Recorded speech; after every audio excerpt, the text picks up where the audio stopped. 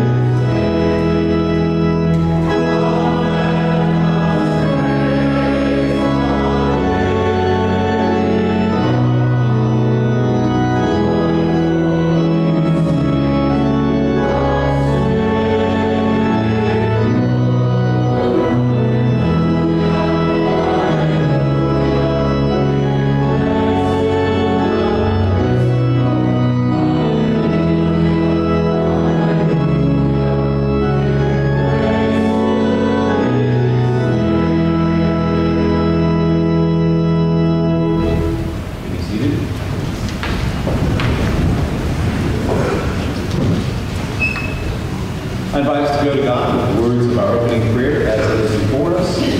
Let us pray. In you, O God, every family on earth receives its name. Illumine our homes with light of your love. We thank you for the gifts of love we have received from our mothers and those who have served as mothers in many ways, nourishing us, guiding us as we grow to be who we are. As we have been loved by them, so we are loved by you, O God. As you grant us peace in Christ Jesus our Lord, so we have worship in his holy name. Amen. And we remember that one of the affirmations of our faith is that Christ ascended into heaven the right hand of God. So we share in this litany for Ascension Day, and we will know that we will begin with the bold print. Let us share this affirmation. Because Jesus ascended and sits at the right hand of God, a new world is broken into ours. A world in which justice does come to the poor, freedom comes to the prisoners, and healing for the sick.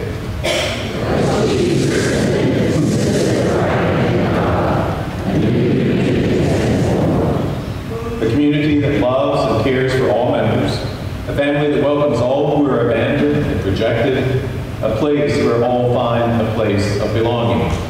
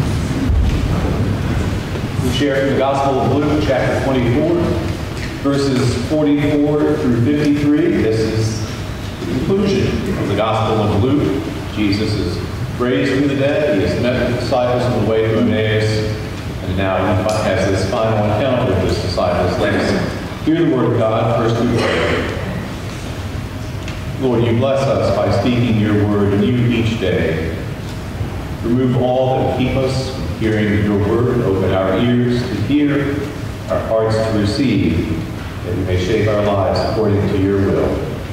Amen. And then Jesus said to them, These are my words which I spoke to you while I was still with you, that everything written about me in the law of Moses, the prophets, and the Psalms must be fulfilled. Then he opened their minds to understand the Scriptures and said to them, Thus it is written, that the Christ should suffer and on the third day rise from the dead, and that repentance and forgiveness of sins should be preached in his name to all nations, beginning from Jerusalem. You are witnesses of these things. And behold, I send the promise of my Father upon you. But stay in the city until you are clothed with power from on high. Then he led them out as far as Bethany. Lifting up his hands, he blessed. While he blessed them, he parted from them and was carried up into heaven. And did they returned into Jerusalem with great joy and were continually in the temple blessing God. This is the word of our Lord.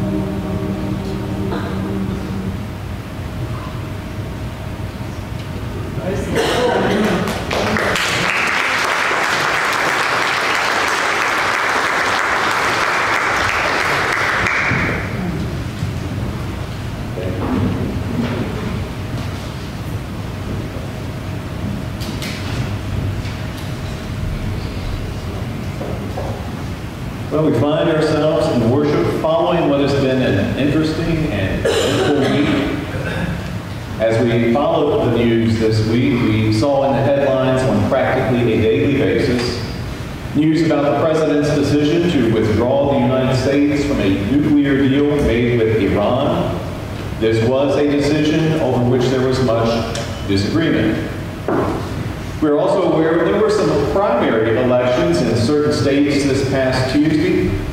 Again, elections revealing divisions between voters. We may be aware that just over a week ago, the United Methodist Council on Bishops issued a statement regarding the church's stance on human sexuality. It was a statement in which the bishops affirmed what is known as the One Church Plan. This is one of three plans developed over the past couple of years by the Commission on the Way Forward, a 32-member commission tasked with trying to resolve the church's impasse regarding human sexuality. This one church plan will be offered along with the other plans at next year's called General Conference. This one church plan, which I see as something of a compromise, a middle of the road approach, still is disappointing to those who want to maintain the current stance of the church, while it also disappoints those who believe this plan does not go far enough. So whether in the world of politics or in the church, we know division. We were keenly aware of this in 2016, especially as election day drew closer. As a response to such anxiety, seeking to find comfort and peace, we held a service of worship here on election eve. Well, perhaps we need to do so again.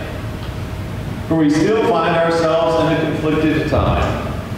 We still find ourselves in an anxious, reactive time. Do you watch Fox News or MSNBC? Do you read the Washington Post or the Washington Times? Do you go online to the Drudge Report or to the Huffington Post? Well, in such a setting as this, I am grateful to hear Bishop Sharma Lewis, the Bishop of the Virginia Conference, say on more than one occasion, especially in regard to the church's ongoing conversation regarding sexuality, that she will carry out her responsibilities as bishop with a non-anxious presence. That is to say, even in anxious days such as these, she will not worry. She will not panic. She will not overreact. She will not be defensive. She will not be uncivil. She will not fear. Good advice for us all. She will trust in what she calls the God factor believing rightly so that the Spirit of God is working His purpose out in every situation. That's her witness. It is a witness that may well be born of the gospel before us this morning. We heard Jesus speak to his disciples. Jesus is raised from the dead, resurrection has happened. The risen Jesus has shown himself to disciples described to us as startled and frightened. He has eaten some broiled fish with them. In this setting, he shares again that his ministry, while new, is also the unfolding of God's story from the beginning. His ministry is the fulfillment all God has been doing since the time of Moses and the prophets and the Psalms. He goes on to assure the disciples who may still be trying to understand the suffering and death of Jesus he assures that it is written that the And on the third day rise from the dead. In other words, all that has happened in recent days fulfills the will and purpose of God. It is no accident. It is an account similar to a story not long before this, a story in which Jesus encounters two disciples on the way to Emmaus on Easter evening. They don't know Jesus is raised from the dead. They don't know that they are talking with the risen Jesus. But Jesus, as before the ascension, tells of how his life, suffering, death, and resurrection are all connected to the salvation story God has been writing from the days of Moses, the law, the prophets, the Psalms. To all of this salvation story, to all that has taken place, Jesus tells the disciples, you are witnesses. says this just before he ascends to the right hand of God the Father. You are witnesses. We may wish he had said something else. Because while it is true on one level, hearing Jesus tell us we are witnesses may not trouble us, on another level, these words of Jesus, you are witnesses, may disturb us greatly. I say this because the idea of, of witnessing may trouble us. I remember the experience of making some home visits with persons from the church Paula and I attended while I was a seminary student in Richmond. I remember knocking on the doors of some homes in the neighborhood of the church, the idea being to invite people to church, but all the time hoping no one answers. It's not a flattering story, but I know, I assume I'm not the only one who feels that way and nervous about knocking on doors. We know that such witnessing, such evangelizing does not always have the most flattering of associations for us. We may think about those who shout and are judgmental. We may think of those who threaten with the fires of hell. We may think of prosperity preachers speaking of wealth and success coming our way if only we believe and call that toll-free number. We may think of the Elmer Gantry types who have preached one way of life while living the opposite. Or it may be we think instead of our, our own discomfort. If asked to say the blessing, or if asked to teach a class, or even to read scripture in public. So for all of the blessing and affirmation we offer to the words of Jesus, and to those who may witness so well, we may still find these words problematic. Especially, especially when we realize we have no option in this matter. We heard what Jesus said. You are witnesses. Understand, Jesus is not saying to those of us who follow him, you could be a witness. He is not saying to us, why don't you give some thought as to whether or not you wish to be my witnesses? Jesus, crucified, raised from the dead, just before he ascends to the right hand of God the Father, is not saying to us, see how you feel about confessing faith in me, see how you feel about following me, then let me know if you're serious. He's not saying, why don't you just try this business of following me for a while and let me know what you think of it. Give it a trial run. You can stop if you don't like it. It's not what Jesus is saying to us. Preach on, We heard. You are witnesses. Period. Well, fortunately, there are those who honor these words of Jesus well. On this Mother's Day, I remember and am grateful for the witness of my late mother. Though she died over 14 years ago, I and many others are still blessed by the life of this. Now, hers was not a loud, assertive, demonstrative witness. Instead, hers was a faith offering its witness by way of faithfully teaching children's Sunday school for 100, 150 years. Hers was a faith offering its witness with great patience. Hers was a witness offered in not being concerned about serving herself, but serving others. So she would ask about you and, and. She would listen to you.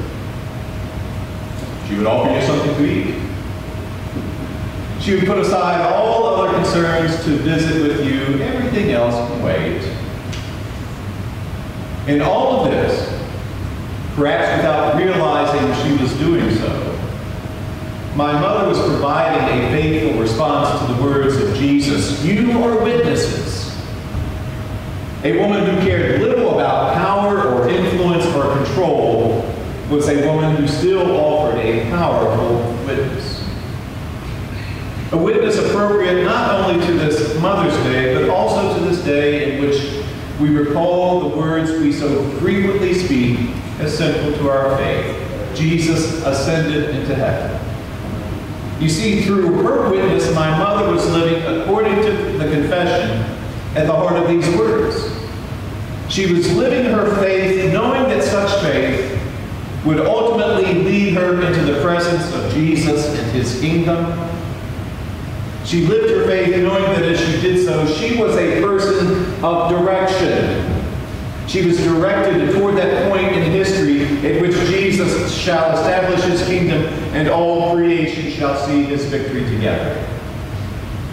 She lived her faith, offered her witness, believing that despite the difficulties she knew in life, and she knew many, she would still find eternal peace in the presence of her Lord. Now, what is true for my mother is true for us all.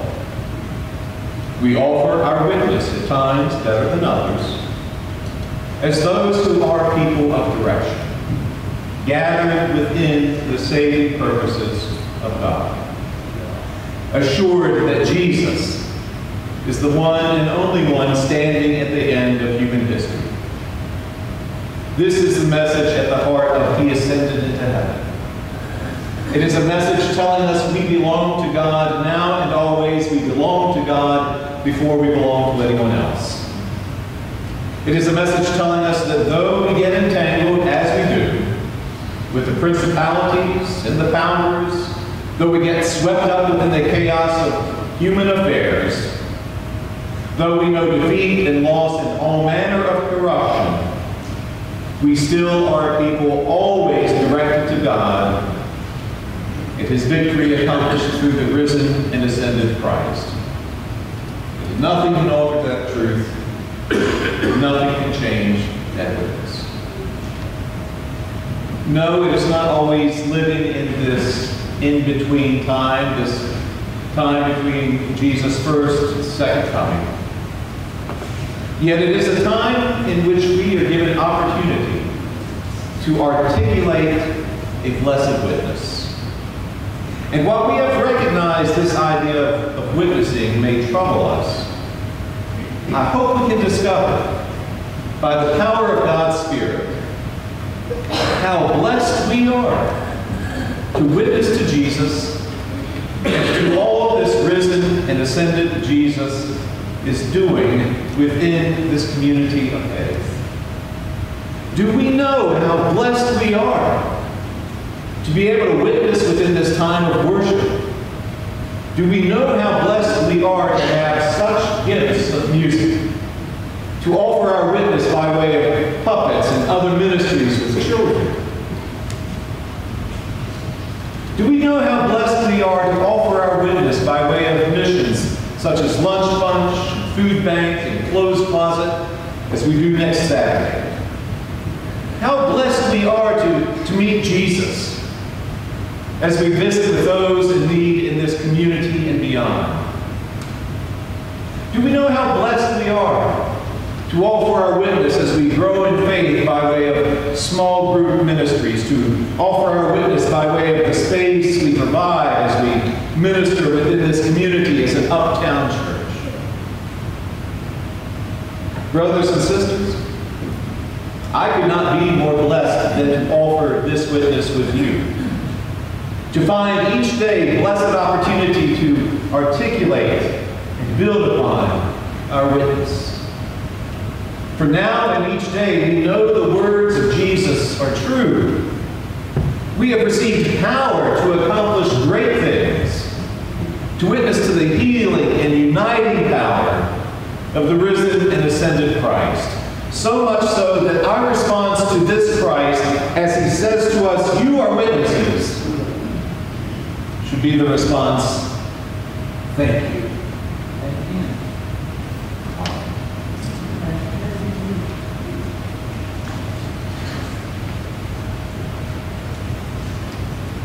I invite us to stand. Our affirmation of faith calls us to remember the ascended into heaven, the Apostles' Creed, number 851.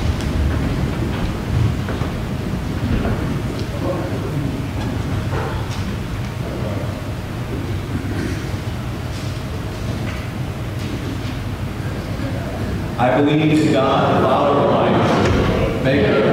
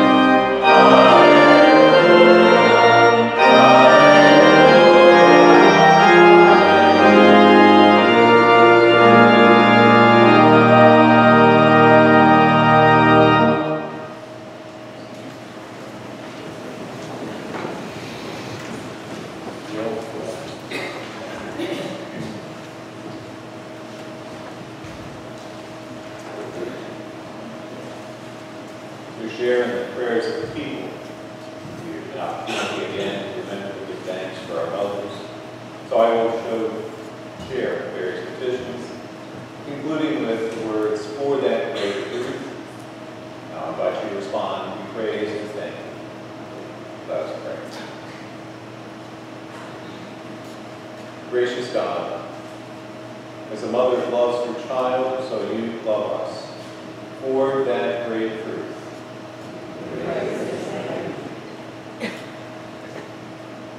owe our very lives to you. You have watched over us from our birth, tenderly nurturing us, showering us with love. When we have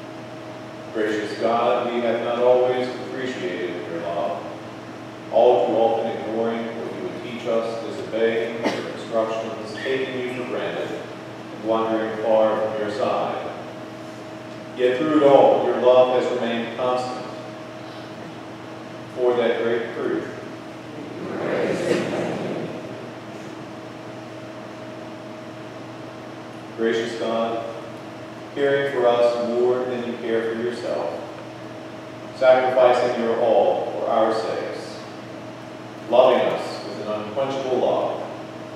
You have called us to be